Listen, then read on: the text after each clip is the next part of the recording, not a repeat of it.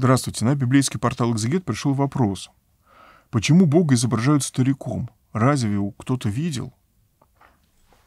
То, что Бога изображают стариком, это беда. Это совершенно не канонично, совершенно неправильно. Эта традиция пришла к нам с католического Запада и, к сожалению, прижилась.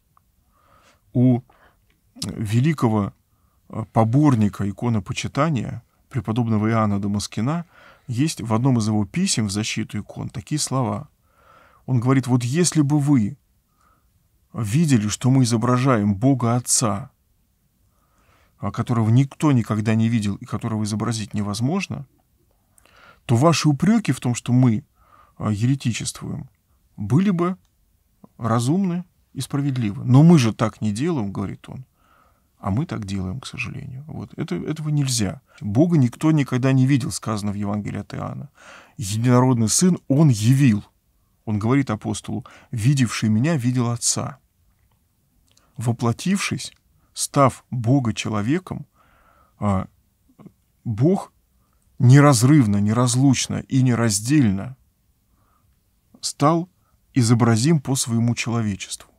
Вот это поэтому, когда мы изображаем Его по человечеству Иисуса Христа, а Он неразлучен, неразделен со своим божеством, мы изображаем Его и по божеству. В этом есть тайны иконы и тайны иконы почитания. Но Бога Отца никак нельзя изображать.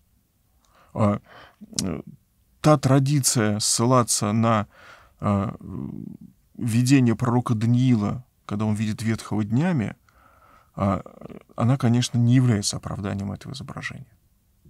Это, а, во-первых, видение до воплощения а, Бога Сына, вторую ипостаси Святой Троицы. Во-вторых, речь идет как раз о нем. Ветхий днями значит бесконечный. Прежде, нежели Авраам был, аз есть, говорит Христос о себе.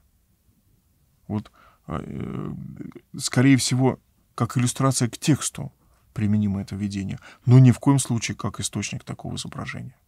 Поэтому сейчас, когда мы восстанавливаем, восстанавливаем храмы, пишем заново иконостасы, расписываем их, очень горько видеть, как э, священнослужители, которые должны бы это знать, и которые контролируют обычно росписи, они разрешают изображение Бога Отца как ветхого старца.